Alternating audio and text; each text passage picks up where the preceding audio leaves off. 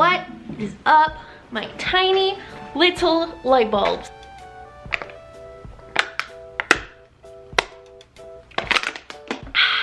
trying to drink more water.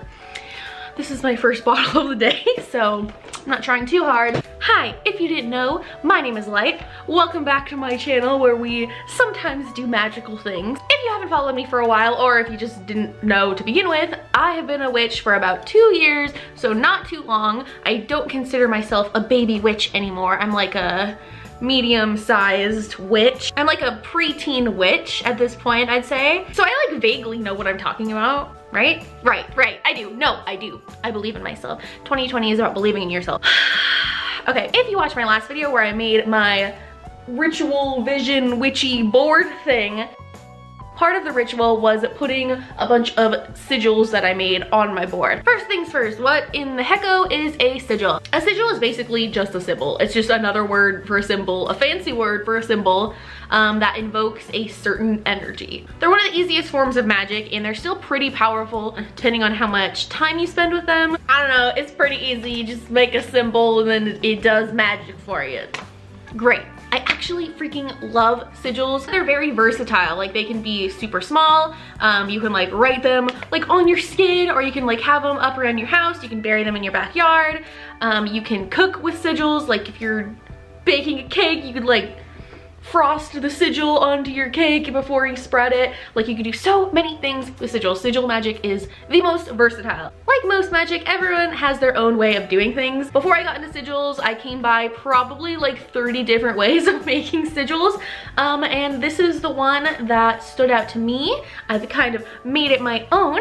So I hope you guys like it. Here's how I make sigils. First things first is you're gonna need to want something. For the sake of this video, I'm gonna do like a simple one that I think actually everyone should do. Like if you're new to witchcraft, this will help a lot. My spells or rituals, whatever you do more, manifest easily. This is a good one because it'll cover every other spell you do or whatever other magic you do. Whatever you do, just make sure it is a present statement as if it's already happening and do not do not use the words I wish, I want, or I need. If you use statements like that, the universe doesn't understand like the concept of time in the way that we do. So if you say I want or I wish, it's just going to manifest your desire for it, not the actual thing, if that makes any sense at all.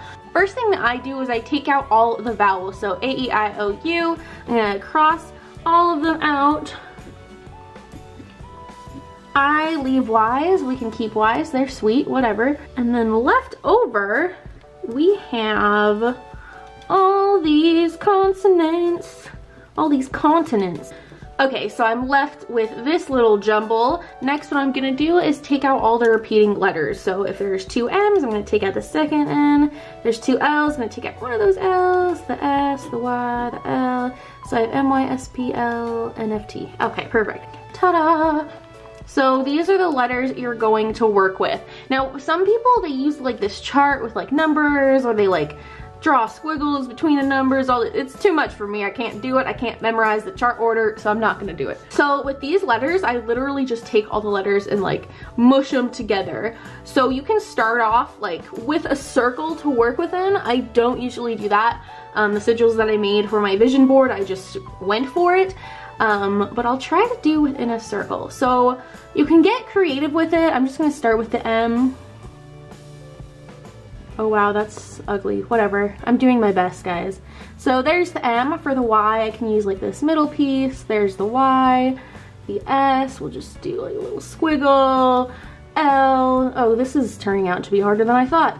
Um, okay, we're gonna skip that. We're gonna go to the T.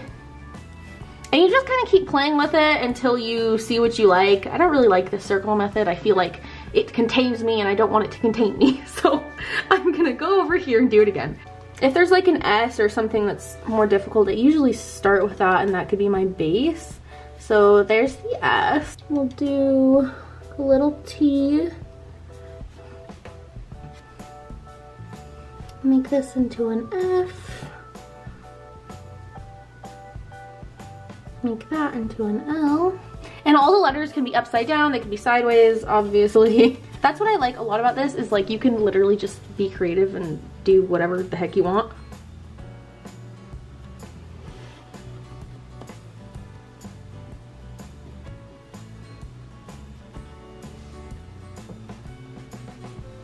Okay, so here's the base that has all of these letters in it. You can kind of see like the M and the F and the N. Um, so I'm going to add like little designs to it to conceal the letters a little bit more. You want to get it to the point that you uh, can't see the letters and you don't know what this sigil means anymore.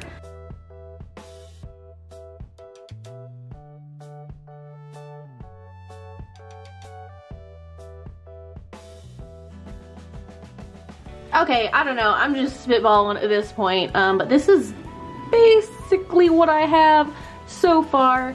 Um, I don't feel too strongly about it, so I would usually um, try again and find something that I like really like and resonates for me. Another thing to keep in mind is like the markings that you're doing, you want it to have like an energy of what you're trying to manifest. So my spells manifest easily. I added this little arrow, like things are growing, they're going up into the universe, becoming reality. Um, I wouldn't do like a down arrow like, because in my mind that's like things are declining, things are getting worse. So I did an up arrow. All right, I'm gonna do one more time and actually take my time with it.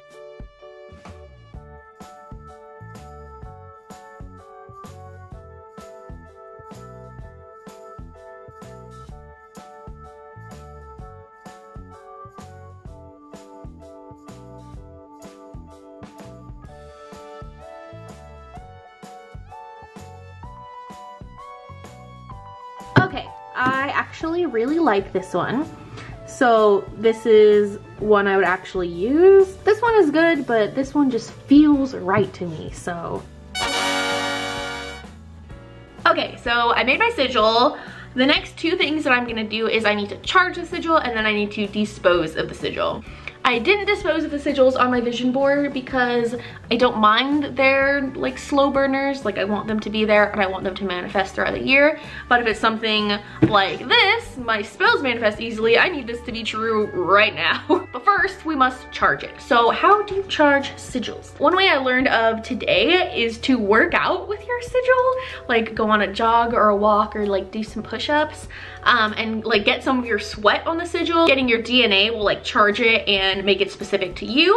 Um, I hadn't heard of that one before, but I really like it. That's a good idea. Another way to charge it or charge anything really a good way is with sex magic. So either with uh, just yourself or with a partner um, and having the sigil near you and in your mind when you're finishing um, and if you can, like using like sweat or other bodily fluids um, to get your DNA on the sigil will really make a difference. Mostly what I do to charge things is I just like spend time with the sigil. like I'll hold it like to my forehead and like meditate for a second and like give it a little smooch, get my lipstick on it, like form a connection with it, you know? People might look at you crazy when you're talking to you and smooching on um, a piece of paper with scribblings on it, but their life isn't filled with magic, now is it? Who's the real winner here? Or another way that I charge things um, and what I do with my vision board is I use a wand. I just use it and like focus my energy through the wand um, to manifest and I just kind of like trace the sigil get to know it, you know? Then once it's charged, um, you can do like what I'm doing with my vision board, more long-term goals.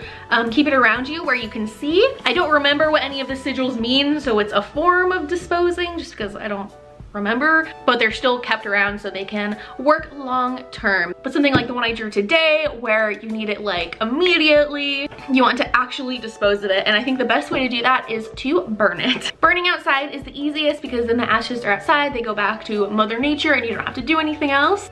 Or if you wanna burn it inside, keep the ashes um, and sprinkle that um, more into your spell work. You can carve it into a candle, burn down the candle all the way. You can write it on the bottom of your shoes and just let it like wither away. Or you can do the same thing, like draw it on your skin um, and wait for it to like wash off. There's a million things you could do, but the one thing I wouldn't recommend you doing is actually throwing it away.